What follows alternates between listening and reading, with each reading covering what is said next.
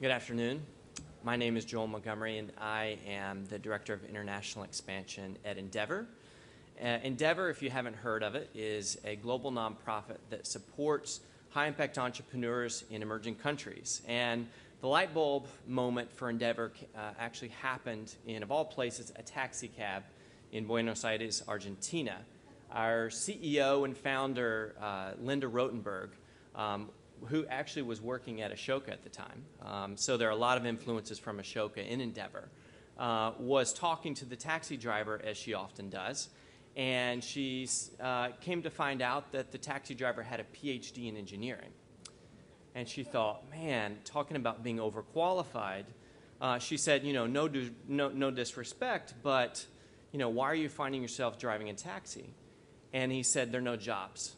This is all I can do to feed my family.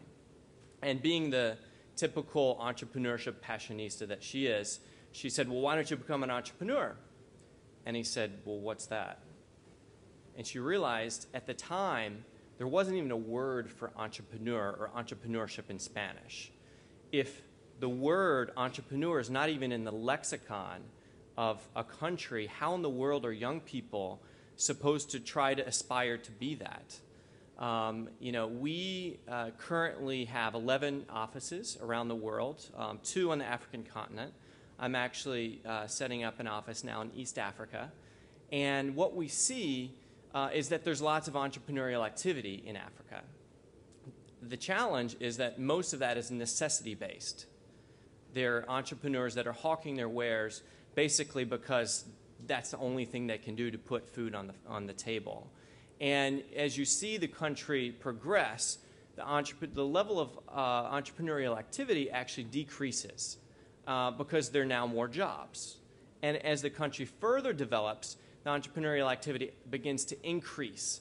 But that's a different variety. Those are opportunity entrepreneurs.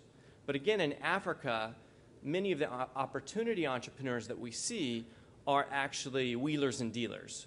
They're also known as tender entrepreneurs. They're people that have you know, great uh, connections with the government and are able to you know, get tenders that way. They're basically looking to get rich. They're not looking to build a sustainable business. Endeavor, on the other hand, is looking for high impact entrepreneurs, which is another type of the opportunity entrepreneurs. Those are the most innovative entrepreneurs in a country. Those are the entrepreneurs Magat mentioned earlier. It's all about jobs. Those are the entrepreneurs that are going to be creating hundreds, if not thousands, of jobs. Those are the entrepreneurs that are going to be scaling their businesses outside of Africa. Those are the types of entrepreneurs that Endeavor is seeking out. And so we see our work in two main areas. The first is finding entrepreneurs. So over the past 13 years, we've reviewed over 23,000 entrepreneurs, selected just over 500. So the bar is very, very high. But of those entrepreneurs, they have now created 130,000 jobs and $3.5 billion in revenues. That is how you develop a country. It's about, uh, about you know, identifying the innovators and giving them support necessary to really kind of knock it out of the park. So with that, I, I will, uh, I will step down, and I'm, I'm looking forward to an interesting discussion. Thanks, Joel. Andreas?